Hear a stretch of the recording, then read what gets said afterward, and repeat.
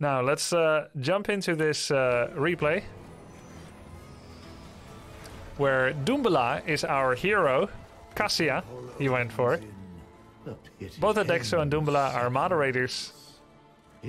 My pleasure. Thank you too, guys. Thanks, thanks to Heroes Hearth for making this happen. Really, One. it's fun to watch people who are better than you play Hearts, the only Cage. Yeah, that's really tough for some people to find people better than them. Now, these two guys are mods on the channel, and uh, actually, it's the first game for Cassia ever. He's never played before. He didn't even finish the tutorial.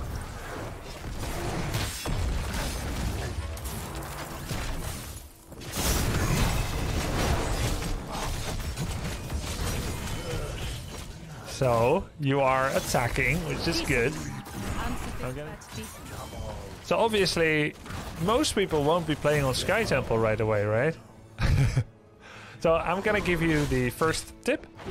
I don't know if you use quick cast or not, but when you use A click, A left click, you can go in a direction and make sure you keep attacking.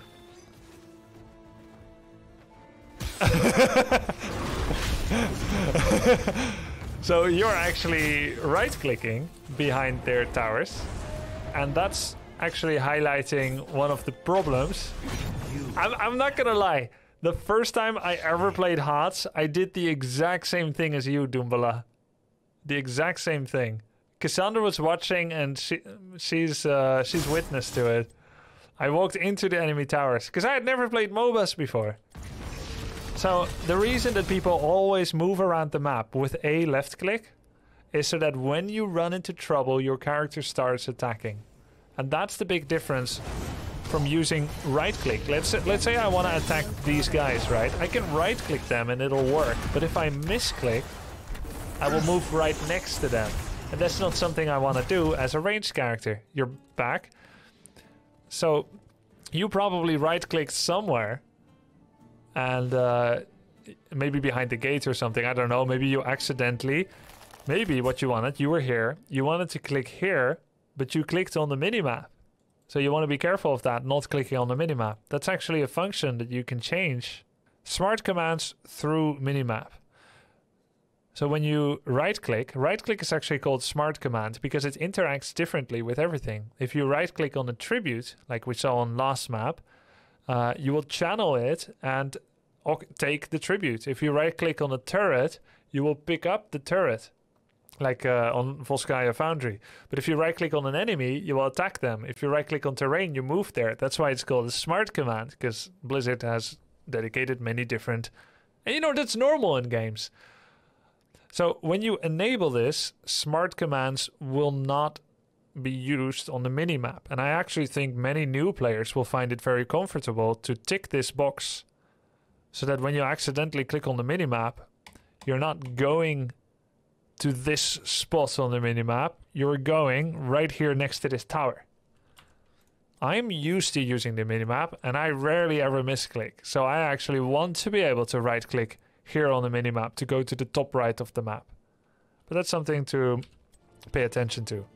Now, new players will also have camera lock, which means you do not lose sight of your character.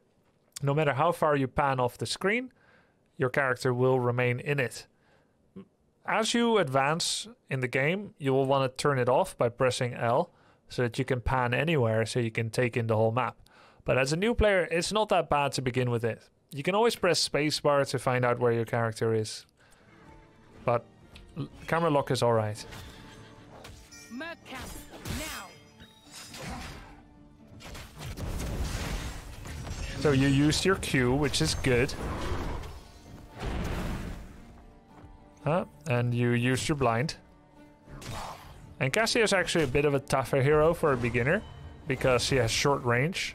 Her survivability comes from moving a lot, and it's not a good character for uh, a new player. So remember to press Z to mount up and gain 30% movement speed. There's also various ways to heal in this game. Um, that's one way to heal, but it'll cost you a death. So you used Fend. Nice to use various different abilities. Uh, one way to heal is to walk back to this place where you spawn. Another way is to press B, Hearthstone. You channel for six seconds. You then teleport back to the Hall of Storms and you instantly restore a lot of health and mana. And staying here, you get more regeneration. But you've also got these healing fountains. We call them Moonwells in Warcraft 3. You can click them and heal once every 120 seconds. If we actually look at uh, Nazeebo, for instance, um, we look at Nazeebo. He just drank from the fountain. We now see that he has half full life. He's got another 40% health that will be regenerated in time. That's the effect from this healing fountain. And you can see the cooldown at any time by looking over the fountain. You can also check at the bottom left at your character, your stats panel. You see this number is also your healing fountain availability. So you don't need to find a fountain to know when you can drink again.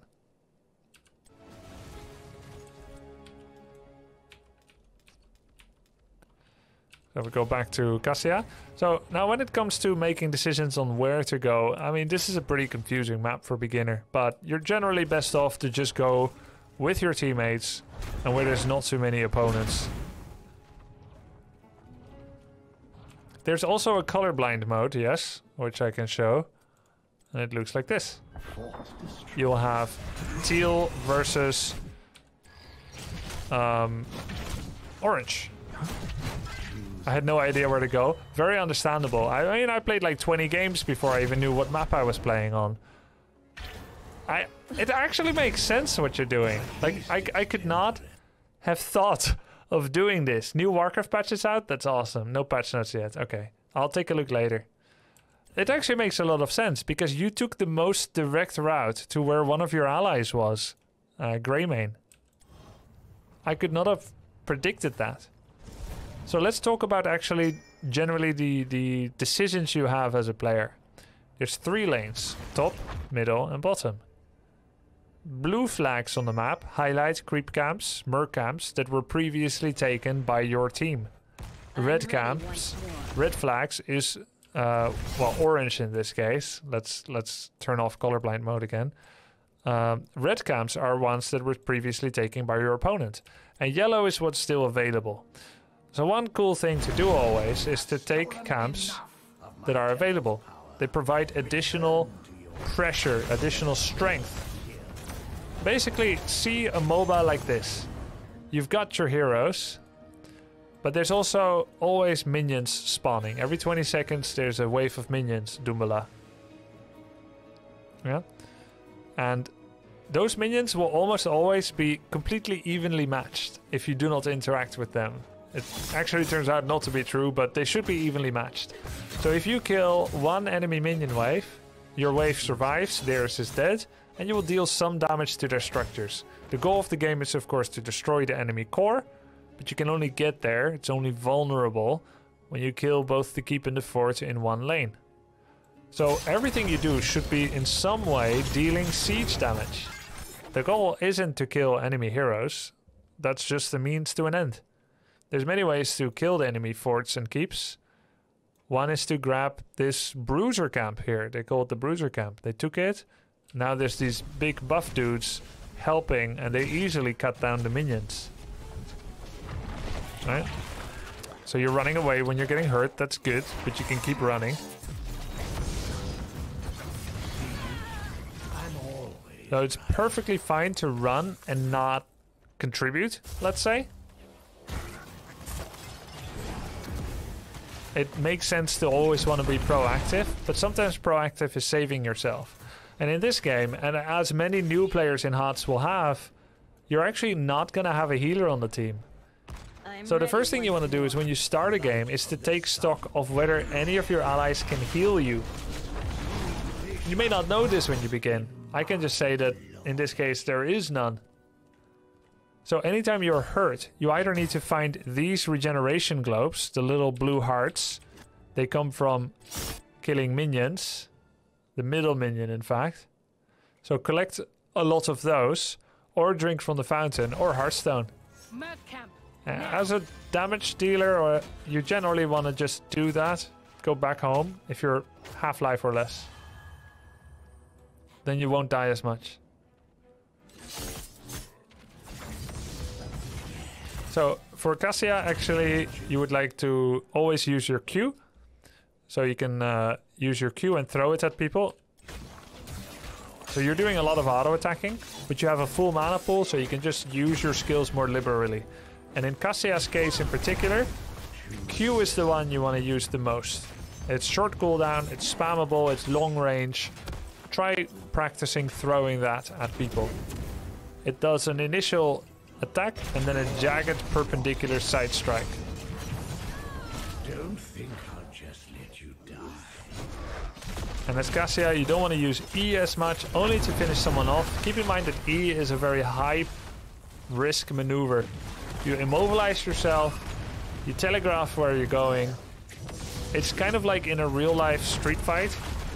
You suddenly do a split to the floor and then you try to punch them in the nuts.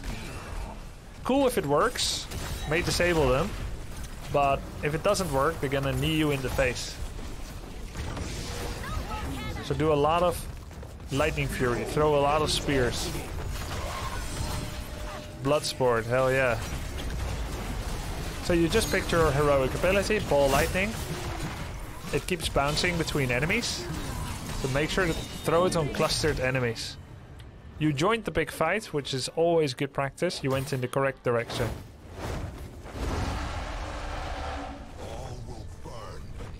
Alright.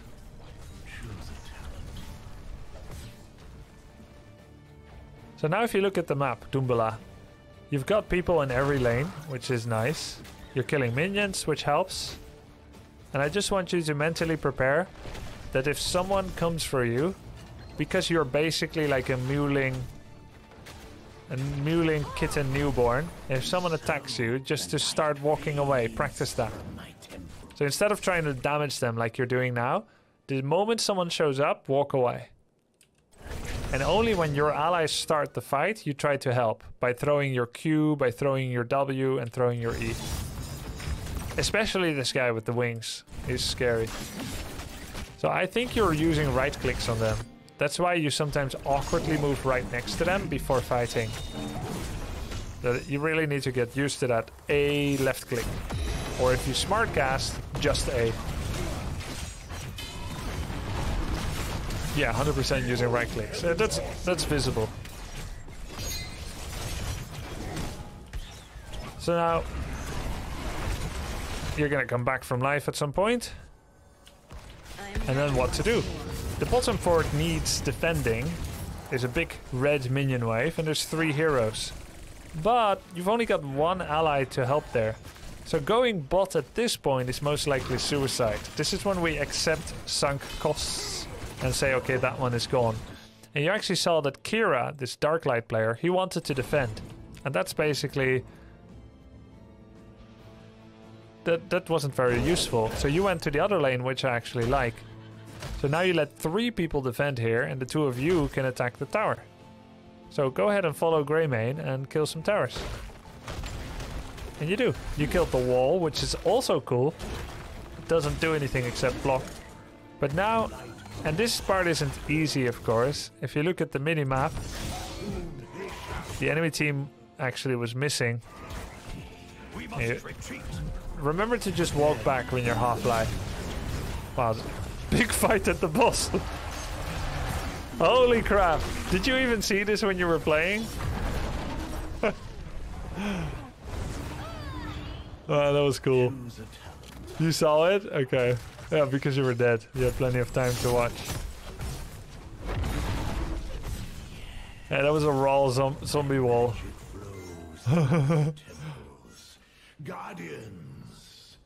So, just to fill the gaps here, uh, Doombala, on this map, the Sky Temple, you need to stand on these circles when they have a logo on the map like this.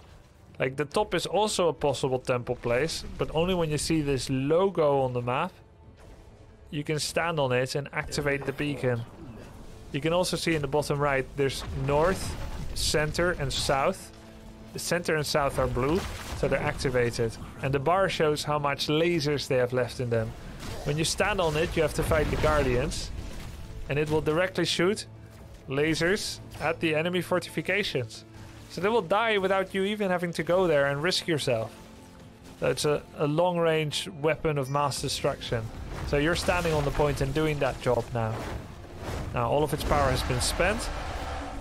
Yeah, you're gonna win this. You got this, dude. You got this. You got this. You helped. That was a big assist. Success. Success. All right. You made him run. Yeah, the dragon helped a bit. I mean, Deathwing. Nice kitty.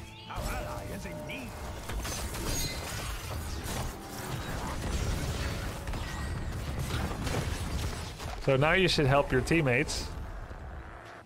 Uh, even though they're not fighting over anything. They're gonna be pushing with Deathwing, which I think makes a lot of sense. I remember this when I was noob and playing other MOBAs. I just stay in a lane and I do things until I die. Now, flank by Nazeebo, what do you do? You attack the dude? You just go for the keep. And honestly, that's not the worst thing if you can get the keep. You will get catapults forever, but your death is temporary. However, you didn't quite get it. Maybe if you threw a few Qs and spears and you have fallen back to the body bank. But you've only died eight times.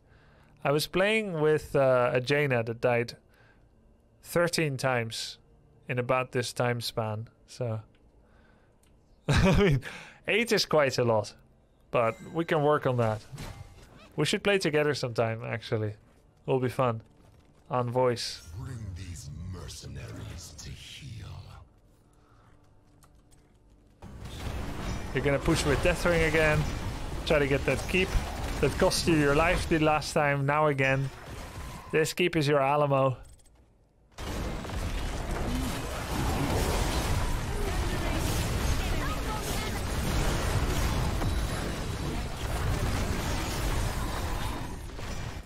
Where are you? You pushed in again. So you never back down from a fight. But it's actually one of the best things you can do.